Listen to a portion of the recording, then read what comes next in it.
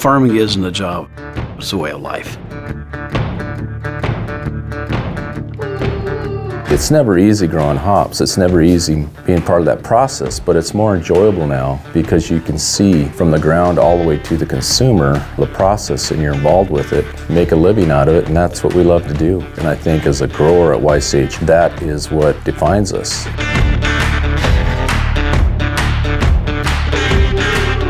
Hop growers put a lot of time and effort into growing their hop crop. And the uh, system back in the 70s and the 80s when I was a young hop grower really wasn't conducive to hop growers representing their hops into the marketplace with the same pride and effort that they were growing. It was time to create a grower-owned company that can bring a little transparency to the business. We really felt that making that connection with brewers allowed them to understand a little bit more about what growers go through to grow a good quality hop that'll make nice beer.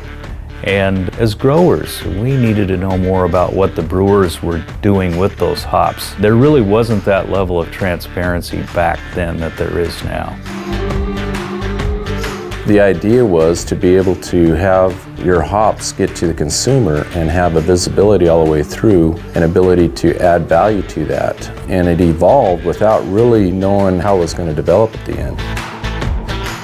Just the 20 years I've been in the industries, we've seen a lot of change. It used to be pretty much big brewers, pellets going in a brew kettle, getting boiled for 60 to 90 minutes. Today, it's completely changed. It's uh, a lot of volume going into craft breweries, and now the way they use the hops is different. So it's a lot of dry hopping. So just the requirements of the customer has changed, and I think in the early days of craft, they didn't even realize that themselves. So we've worked with some key customers on what's going to make dry hopping better, and that softer pellet that dissolves is something that works better. But then as dry hopping rates increase, their beer loss increases as well. So their efficiencies are going down and they're being less efficient, less sustainable, less profitable.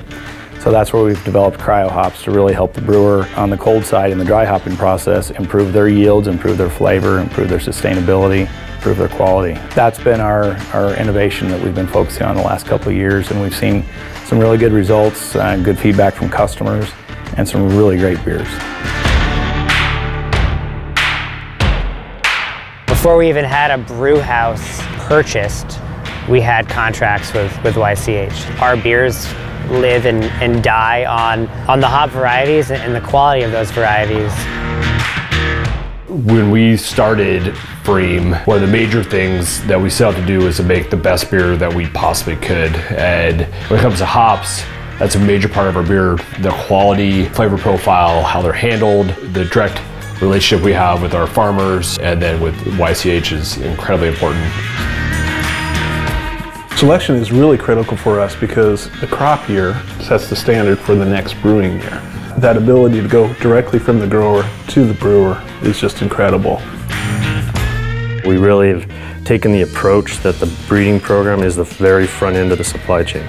So the varieties that we release from that impact every different level of supply chain, you know, whether it be through more efficient varieties, lower costs, better quality, whatever that might be, it's going to have a positive impact up through that entire supply chain, from the breeding through to the grower ownership, and then right through to the processing and then directly to the brewer is a really unique thing that, that you won't find anywhere else in the hop industry.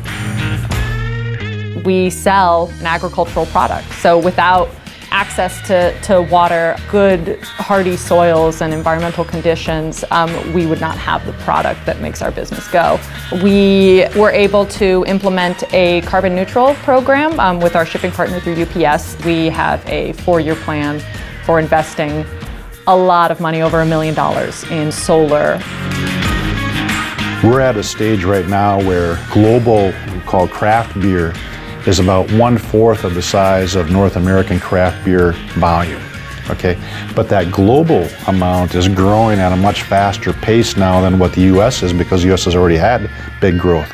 We already have a good presence, but we're going to keep pushing these great American hops and, and varieties that we at YCH are responsible for. We do have offices in Brussels and Hong Kong and southern China. We really want to position ourselves to make that connection with the world's finest brewers. And the reason is that almost every culture brews beer. And we want to be there where the beer is brewed. We really do think that our hops are produced with a very high degree of passion, with a very high degree of attention to quality. We want to make our hops available to every brewer in the world if possible.